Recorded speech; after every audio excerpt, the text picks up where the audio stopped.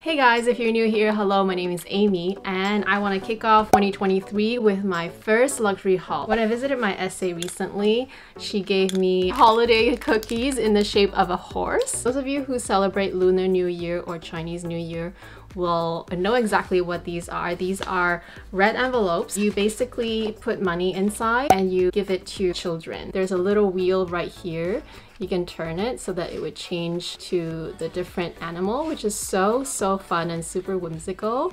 So you've got the little bunny because it's gonna be the year of the bunny. Triple bunnies, super cute envelope, really thick paper. Even changed their little logo here temporarily to a little rabbit instead of the horse. My two nieces on my husband's side, I promised him I would shout out to them. So hi Ava and hi Emma. Ava, who is only 11 years old, she's super talented and she sang at one of the Oilers NHL game, the national anthems for both countries. So super amazing. So shout out to those girls. Hi girls. Let's keep going with the haul. These ones, the moment I saw them, I was like, oh my goodness, I have to get them because my nephew, who's like my favorite little human, he's the first baby in my family that I really saw grow up since birth. Anyway, when I saw these, I thought of him right away. I did not even know that Birkenstock make these.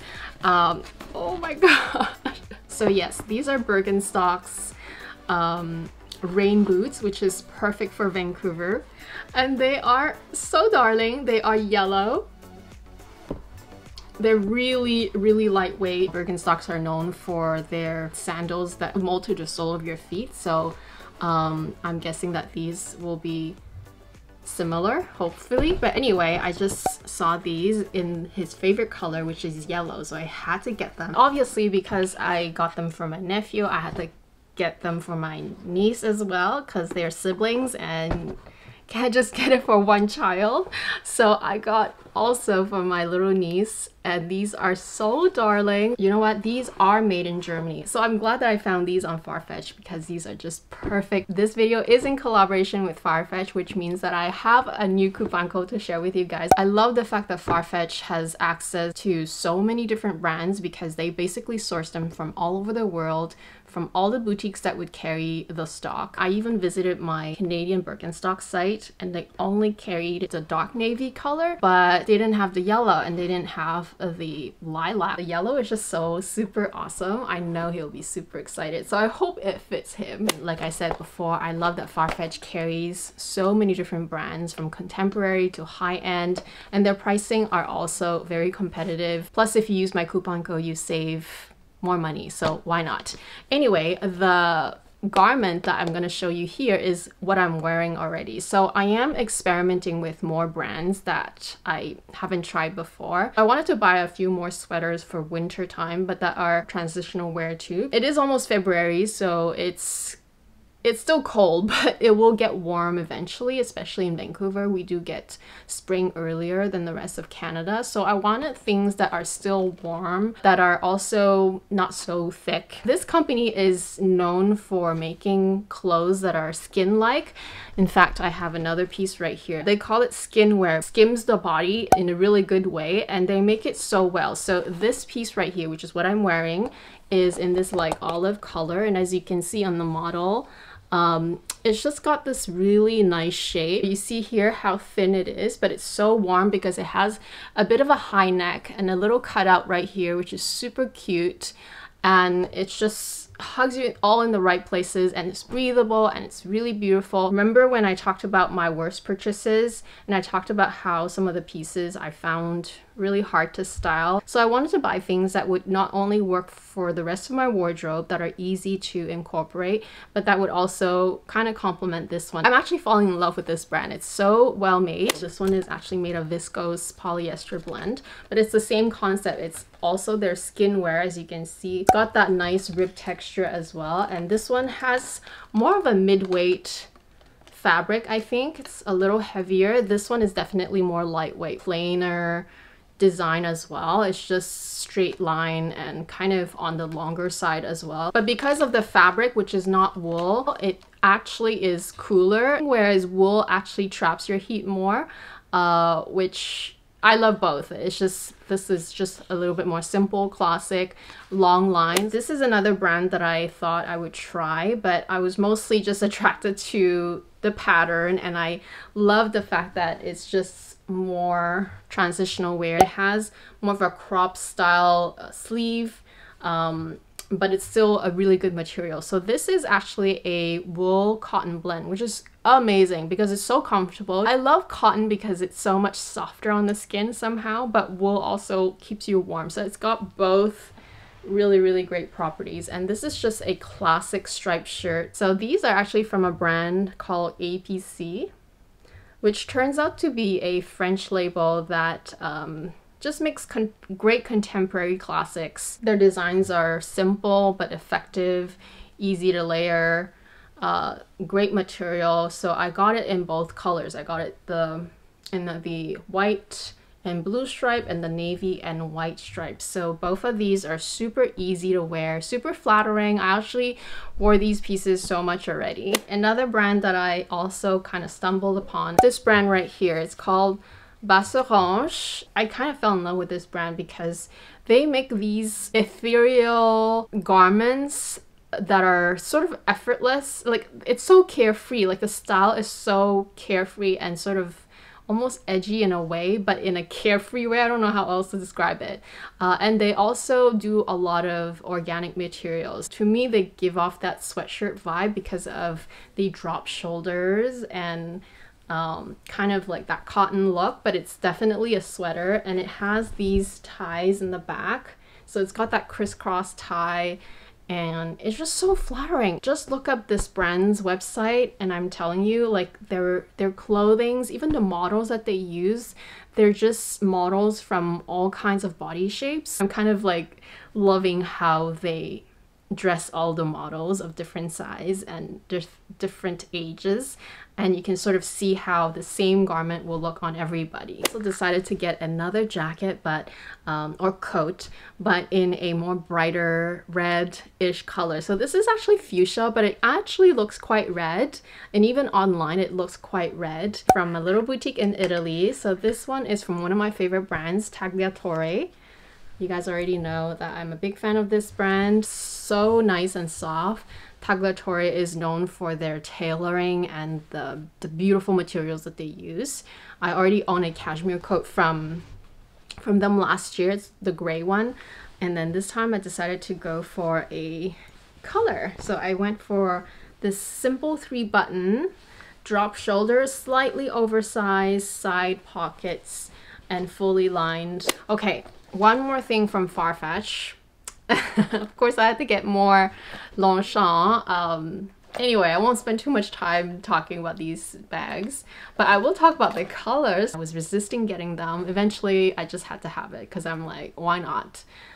Why not, right? So this time I went for my usual perfect top handle small size le pliage so this is my favorite size of all times for me this is the perfect size tote it's not too big I don't really need a big tote on the daily anyway and it fits everything I possibly need. Sometimes I can even fit some small shopping items in there. A lot of these brands are conscious brands. These Longchamp Le Pliage are made of recycled nylon which is great. And then because I love this color so much I wanted to get something else. I have the old old version of their cosmetic pouch but not the new one so I thought why not try the new one. These are so affordable. They are completely wipeable on the inside. So it can be a cosmetic pouch for me or it can also be travel clutch or a bag inside a bag that I can grab and go into a store. Just to show you, it definitely fits a phone. So I do have a very tiny phone, but it fits a lot. This is my first time buying a timepiece from Hermes and there is a bit of a story with this one. It is a special order, so it's not a piece that you will be able to buy off of their website or in their retail store because are exclusive to their custom watches. So I will be doing the whole unboxing try on and talk you through the whole experience so that maybe next time they have the same event uh, near your store, then you will have a better idea of how this works. Like I said, it's sort of something that I bought a while ago, back in June 2022. Depending on which city it is in. Like a bigger city will have the event for a lot longer. When I went, it was by invite only, and it was the very first time that Canada had um, a custom watch event. So, okay, let's unbox it because it's so heavy. So it comes in this big box, big, big orange box, just like that. And it kind of slides out. Okay, and so the inside, the user manual, and it just sits in the bottom of this orange box. There's like a little piece of microfiber material. It's a wooden box, it's quite heavy. And it opens like so to reveal.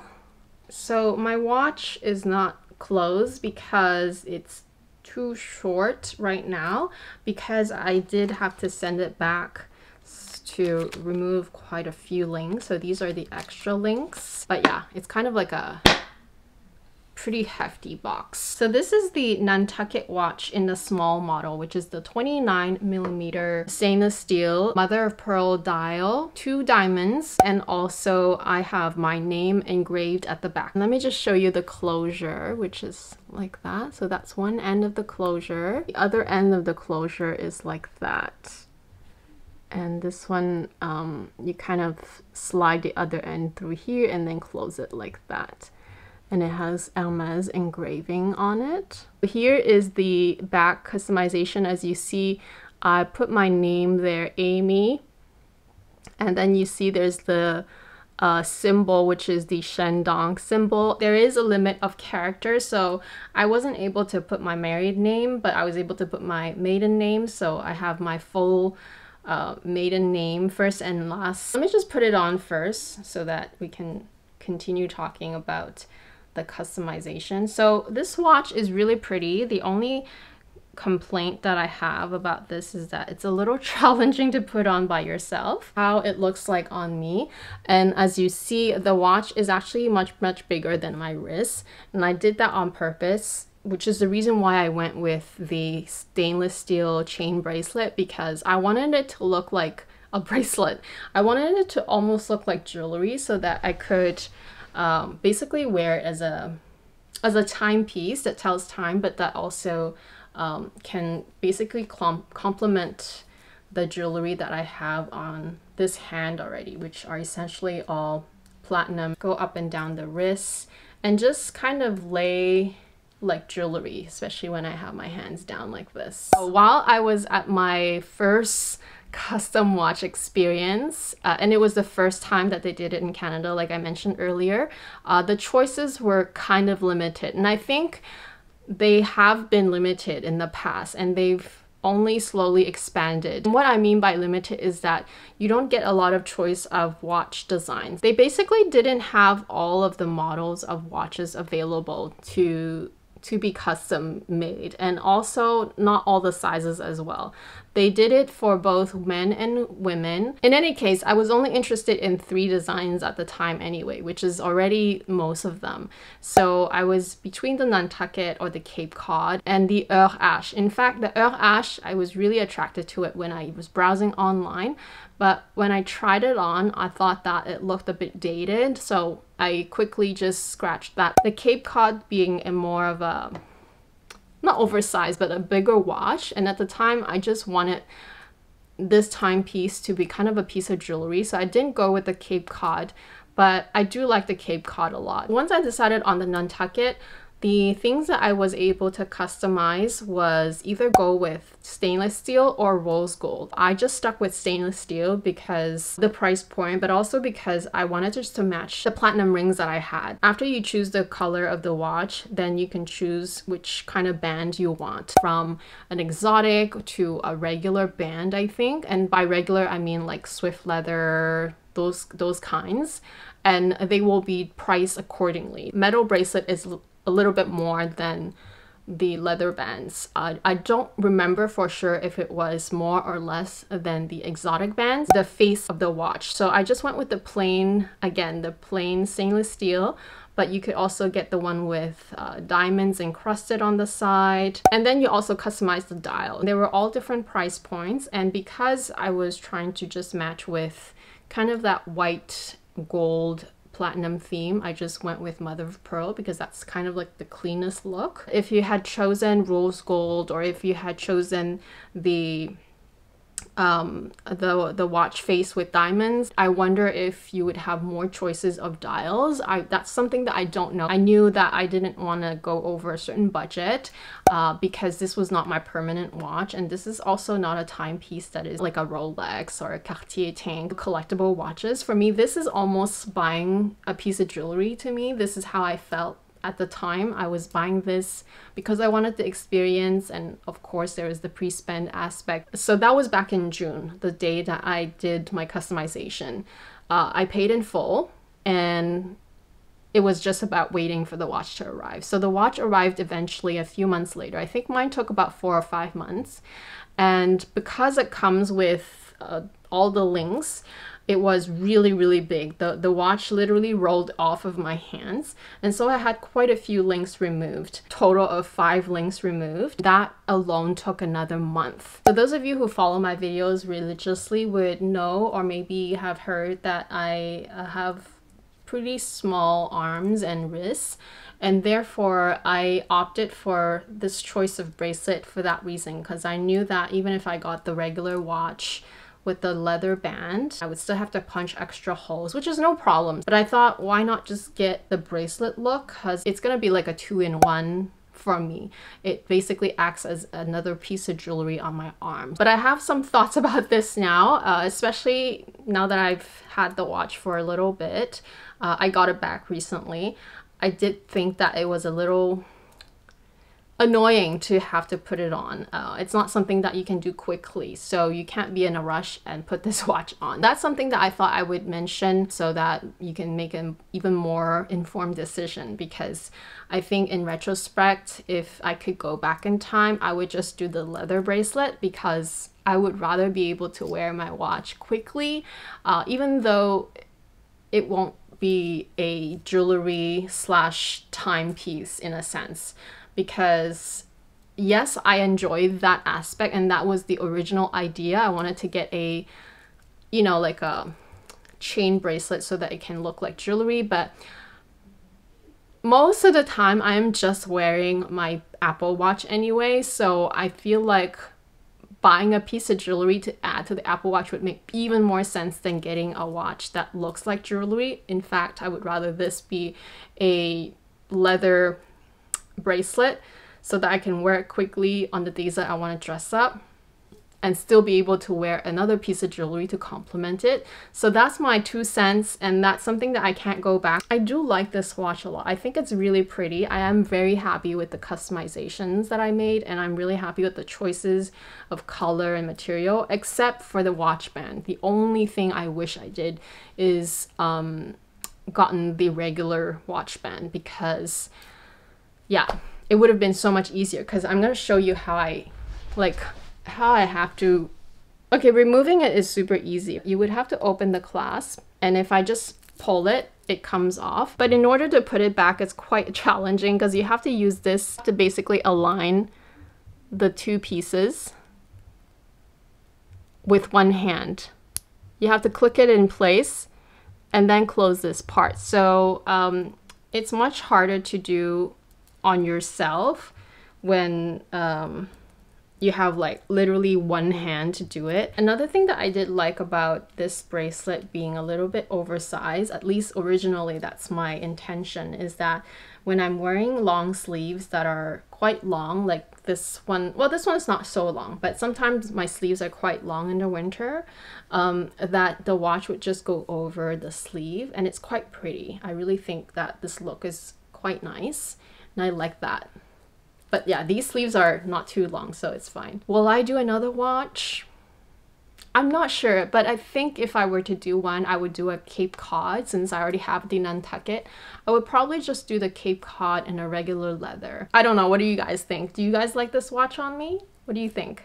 And do you like that it's moving a lot? Or should I make it more like a watch size? Like just make it stationary on my on my wrist. What do you think? Because then I have to remove at least. I don't think I can remove two. Oh, do I have to remove two? No, I think I just need to remove another link. So a total of six links. That's a lot. That's like destroying so many links. Let me know what was your favorite part of this first 2023 haul. For me, for sure, are the little boots. I think they're adorable. Don't forget to check out Farfetch. I'll have all the items that I featured linked down below. And of course, you can use my coupon code to save more at checkout. If you're new to my channel, don't forget to subscribe. I also host members only live streams and I would love for you to join. I'll have all the links down below. Thank you so much again and I'll talk to you guys again very soon. Bye.